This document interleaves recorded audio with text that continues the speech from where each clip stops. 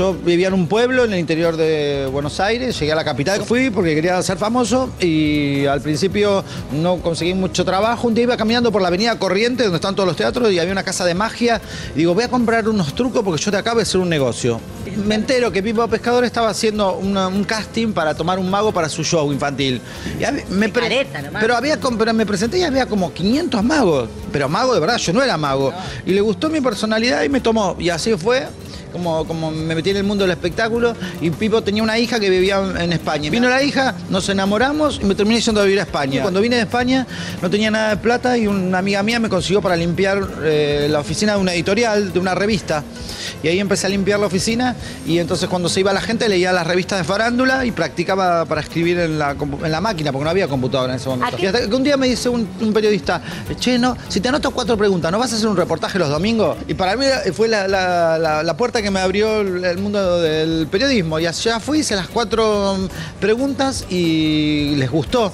Pero yo quería la farándula, ¿viste? yo quería estar con los famosos. Claro. Yo quería ser famoso porque me parecía que cuando, eh, cuando llegara a ser famoso iba a ser feliz. Claro. ¿Entendés? Entonces, Entonces- decía, mirá, regalan plata, están bien vestidos siempre, se ríen. Digo, debe ser bárbaro, debe ser la felicidad estar en la televisión. Después comprobé con el paso del tiempo que no. El que vive en un pueblo se piensa que la gente de la televisión somos felices. Desmitifiquemos eso. Ah, No parás, no tenés verano, no tenés vacaciones, no tenés nada. Eh, me acuerdo que con mi señora esposa, Patricia Jodara, cuando vivía en Argentina, íbamos todos los años a Villa Gesell, porque el padre tenía una casita en Villa Gesell.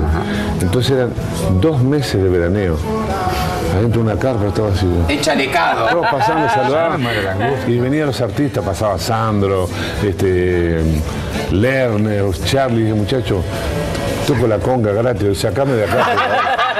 Por favor". Me paraba en la puerta de El triángulo smoking. les toco igual. Sí, me paraba de smoking se pasaba ahí, me dan el smoking, vamos a llevarlo. Por lo menos para que presente. Nadie me llevó, me tuve que comer dos meses en la playa, un desastre. Odio la playa.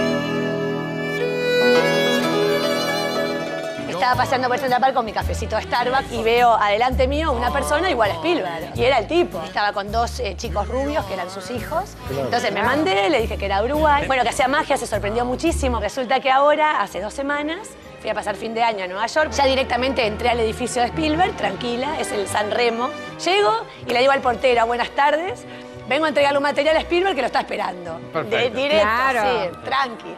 Entonces llamó, le dijo Maga Uruguay y bajó el asistente en tres minutos con Mirá, una caja de chocolates toque. para convidar. Le di mi, mi material y de noche me manda un mail ella poniéndome que ya lo había visto a Steven Spielberg, que le había encantado, Pero mirá. que le había, le había in- interesado mucho porque era algo muy original. Bueno, ahora a la espera nomás.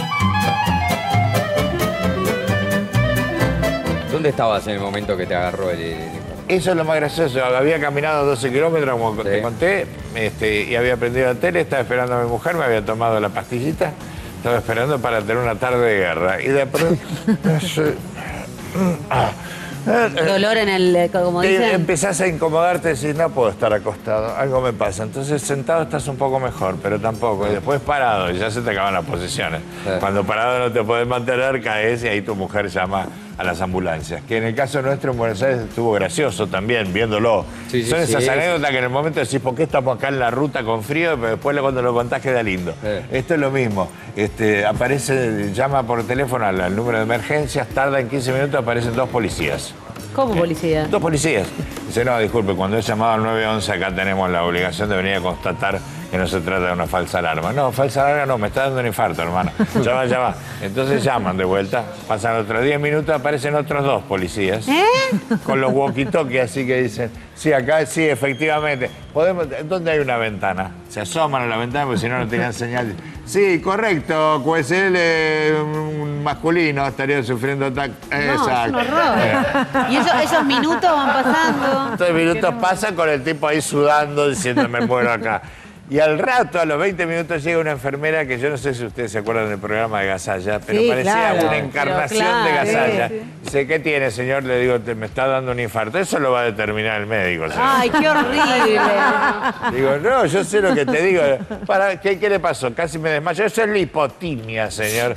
Mire, tengo un infarto. Bueno, al final me lleva y después cuando vio que era un infarto, estaba como indignada. Claro, no Era. No, al final, que este estúpido tenía un infarto. nomás".